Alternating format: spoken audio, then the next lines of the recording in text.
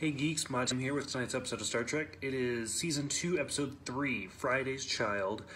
Uh, to be honest, this was kind of a weak episode for me. It seems like this season, the the first episode was really good or was really bad. It was the Halloween episode, and then it was pretty good with Metamorphosis, and now we've hit another low with Friday's Child. Um, it's the second appearance of the Klingons. Um, so now that I believe has made them the most reoccurring character, um, or at least villain species, because we haven't seen the Romulans after their first episode. Um, this is also the first time Chekov has done his uh, "Oh, that's from Russia." In this case, it's the um, "Fool me once, shame on me" thing. Um, and then he's like, "Oh yeah, I know that phrase. It's from Russia," which becomes a reoccurring trait of his throughout the series. Um, yeah, overall, like the the Klingon has already kind of transformed a little bit. Like he doesn't have the eyebrows.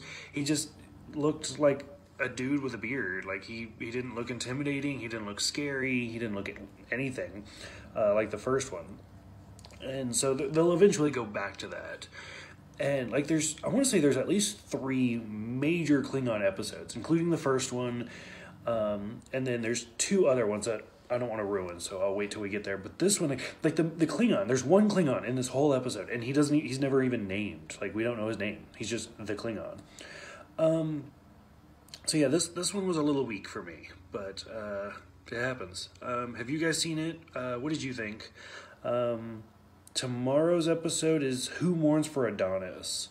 Um, so that one I'll probably have more to talk about. This I just I don't I don't really have anything. Like it's just kind of a standard Klingon Klingons are bad episode where the Klingon tries to blackmail or they don't even try to blackmail, they just try to like fool this naive species against Kirk's crew.